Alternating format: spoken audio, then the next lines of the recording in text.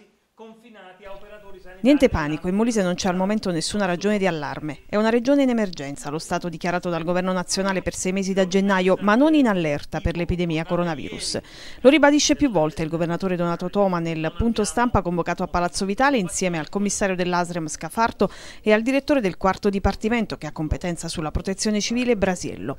Dopo il confronto col governo nazionale in arrivo una nuova ordinanza, spiega Toma, e alcuni contenuti relativi alla prevenzione sanitaria soprattutto soprattutto per esempio l'obbligo di dichiarare la propria presenza sul territorio per chi rientri da zone in cui ci sia stato anche un solo caso accertato di coronavirus, erano già previsti nell'ordinanza che il Presidente del Molise ha emanato lunedì. Di fare una nuova ordinanza non appena verrà validata a livello della conferenza dei Presidenti, quella tipo che abbiamo concordato col Governo, però vi anticipo che la nuova ordinanza in realtà non è diversa dall'ordinanza che ho fatto io, è più specifica. Agli studenti diciamo di non preoccuparsi, non le fate, leggite scolastiche fino al 15 di marzo sono sospese, poi vedremo, avremo modo di eh, recuperare. Eh, le scuole in Molise sono aperte, quindi per ora problemi non ne abbiamo, lavarsi sempre le mani, acqua e sapone eh, in primis, eh, se si starnutisce non starnutite in faccia al compagno di banco, ma come dicevano le nostre nonne,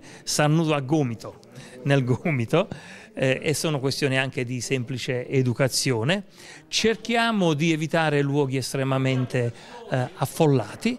Rientrato poi un incidente diplomatico col ministro dell'interno dell'arrivo degli allievi agenti da Piacenza, rivela Toma, la regione non era stata affatto informata. Ci siamo chiariti con, eh, non solo col Ministro dell'Interno, in realtà devo dire che la collaborazione che abbiamo instaurato con il Questore, con eh, i medici eh, della polizia eh, è stata talmente pregnante, talmente stretta, talmente collaborativa che abbiamo superato molto bene anche questa, questo piccolo difetto di informativa. Tutti se lo augurano, il Molise magari non avrà alcun caso di coronavirus oppure, come sembra in realtà probabile, ce ne saranno, ma senza conseguenze. Passata l'emergenza, questo però è certo, resteranno i gravissimi danni all'economia anche di questa regione. Sul punto, assicura Toma, è stato già sollecitato il governo nazionale. Abbiamo chiesto che il governo cominci a preoccuparsi degli interventi di natura economica perché i danni sono enormi, ingenti. Abbiamo danni al turismo, abbiamo danni all'economia italiana, abbiamo eh, danni ai rapporti con gli altri eh, paesi, ma i danni economici veramente sono ingenti. Stiamo per ora eh, sollecitando il governo a trovare fondi, prima di tutto per le regioni che hanno subito più direttamente il problema, ma anche per noi molisani.